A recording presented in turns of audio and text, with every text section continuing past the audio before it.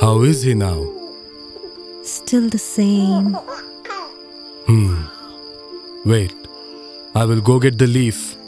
But it's very late. Be careful. Don't worry, I will be fine.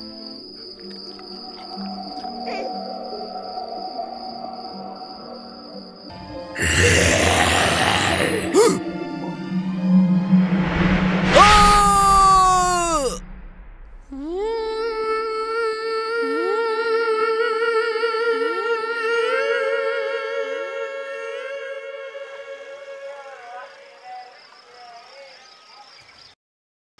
13 this year. How many more, Pronto? How long are we going to just sit back and do nothing? I understand your pain, Bara. Enough is enough now. Jumpy, Grumpy, go inform everyone about tomorrow's meeting. All right, Pronto. I think it's time to bring the master back. Which master? That drunkard Humi?